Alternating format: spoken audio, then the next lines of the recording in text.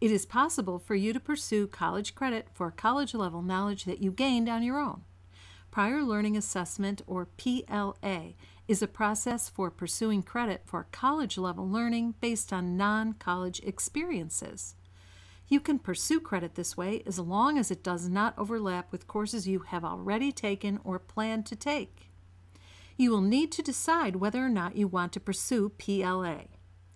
But what does the concept of college level learning mean?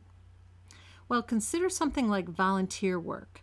Let's say you volunteered at a museum and it was your job to greet people, answer questions, and give directions. This position description simply does not offer college level learning experiences. Now, let's say you were the volunteer coordinator and it was your job to interview, train, and assess volunteers.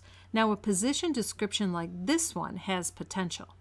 College level knowledge means that you can analyze an issue or problem, apply best practices, and explain why you chose the course of action that you did.